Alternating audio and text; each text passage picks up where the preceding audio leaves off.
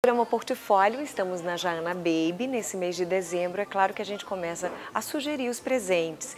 A Jaana está todo no clima já, tanto de presentear quem você ama, quanto de comprar roupas, porque a coleção está maravilhosa, tanto para as meninas quanto para os meninos.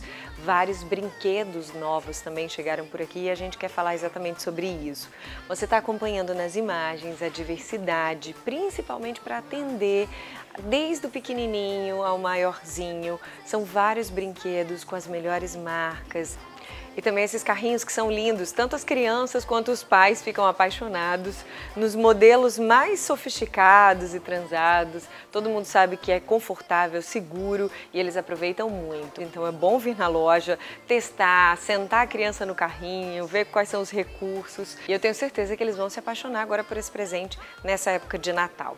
Vamos até o outro lado ali, porque eu quero falar sobre verão. Acabaram de chegar roupas lindas com proteção solar para o seu bebê. Vamos lá comigo? Acho que quase todas as mães gostam dessa ideia de coordenar. E quando é moda praia, esse desejo fica maior ainda, porque a gente chega aqui na Jaana e vê uma sunga como essa, um chinelinho, uma camiseta com proteção solar, todas são lindas. Tem essa daqui que é lisa, mas tem outras estampadinhas. E eu acho que é bacana porque eles nessa época investem pesado nisso. Então as opções de estampas, de modelos, de tamanhos da moda praia aqui na Jana Baby são diversas. Então tá mais do que feito o convite para você passar em uma das lojas da Jana Baby, na Prudente de Moraes ou na Roberto Freire, para aproveitar essa época de final de ano, fazer as suas compras, porque aqui você encontra tudo, né?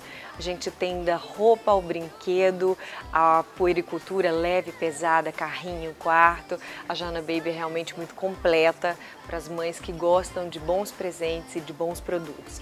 Acompanhe o Instagram da Jana Baby que a gente está postando tudo por lá. Até a próxima.